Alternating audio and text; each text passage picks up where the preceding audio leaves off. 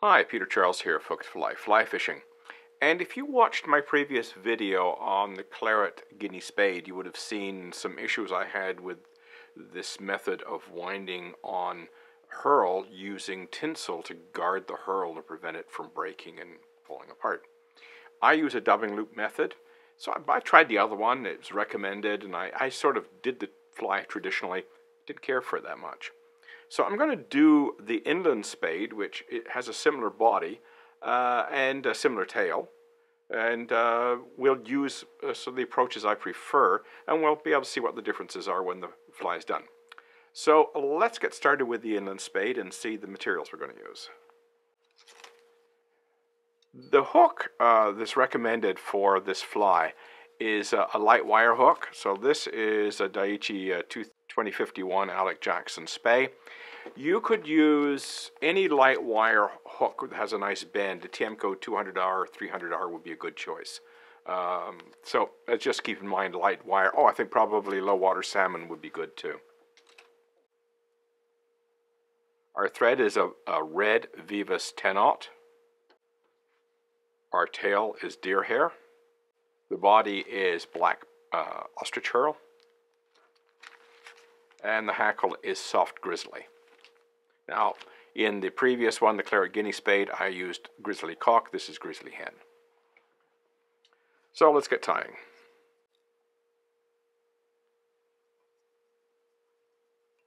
Now I'm going to stop right there.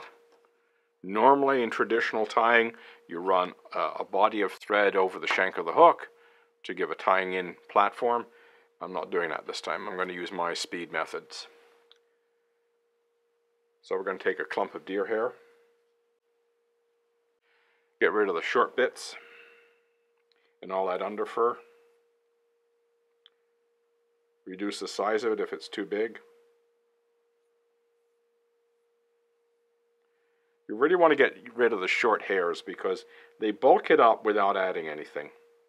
So take a moment to make sure you don't have any short ones in here.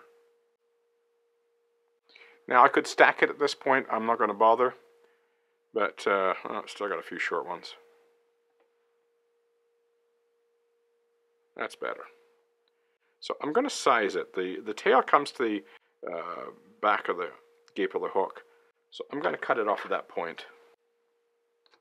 And now I'm going to tie it in. I'm going to tie it in starting at the return. Pinch loop, pull down, wind forward,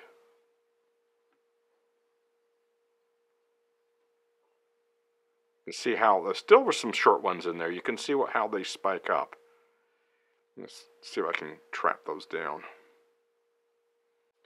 Now we're going to tie in our first two strands of peacock, peacock herl by the butt. Make them about as the tag ends as long as they return. And I'm just going to get those locked in. Probably not a bad idea to do a quick wind up to lock those in place. Get everything smoothed out. Come back.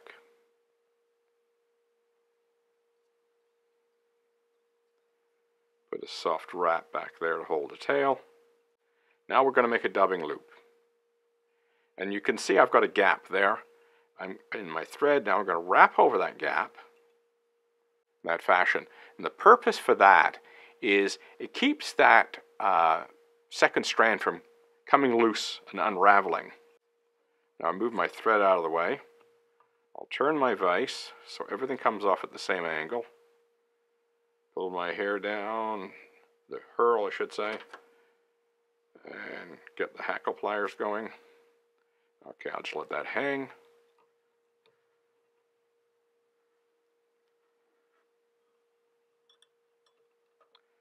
Now just gently spin that.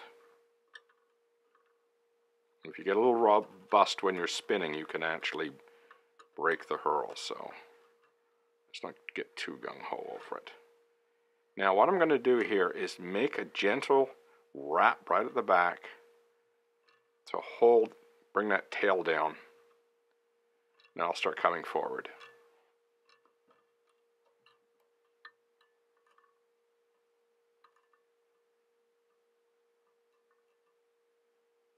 I'll stop right at the return. Maybe one more wrap or two. There we go.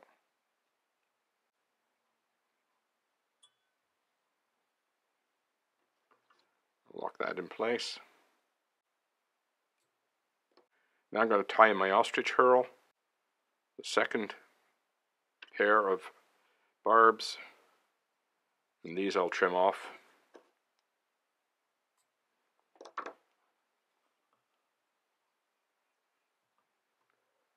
Make another dubbing loop, same thing,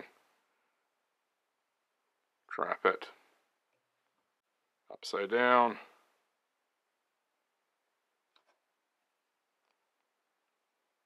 grab it with hook hackle pliers. Now gently spin it, work your twists up, all the way up. Okay, now we're going to go back and then come forward. And with this we'll go up on the return. There we go.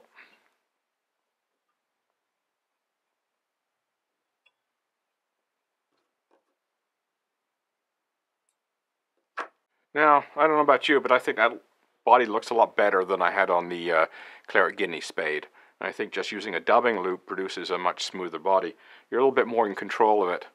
And um, it's easy to get a second one started, as you can see. And get a, I can get a third one started. I could make that body even fluffier if I wanted to uh, put a, th a third one, a set of two in, or even a fourth set of two. Just keep doing it and producing the body. Just I, I would just keep each sub subsequent body a little bit longer than the previous one, so you've got to leave yourself some tying in room. But you could keep adding it as, as much as you wanted to make the body as thick as you want. Okay, now for our hen grizzly.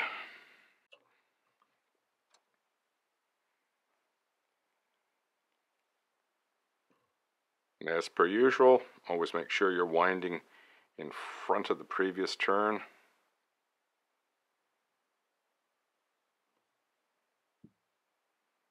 Stroke the barbs back.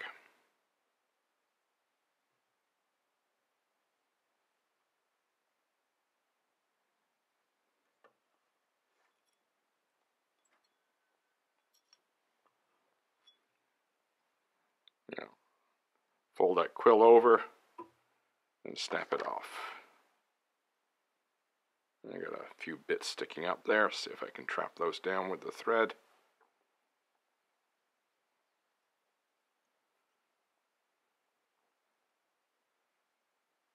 Some soft wraps at the back. Bring it forward.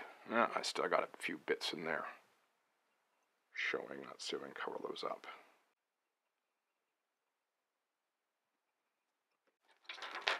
Okay, whip finish.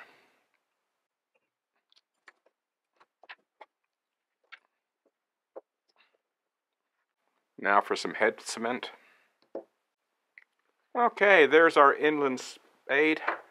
I think the body on this one looks an awful lot better than the other version. Um, you could make the, the body a little more compact if you want, or you could spread it out. Your choice how you want to do the proportions. Um, you know, you could have scrunched the body up a little bit more, but you know, it's still, um, yeah, quite fishable fly the way it is. And I think with that soft uh, um, grizzly, it should flow quite nicely and move quite nicely in the water. So give it a try, the inland spade, and that's my sort of quicker tying method using dubbing loops for protecting herl rather than using uh, tinsel. So give it a try. Cheers.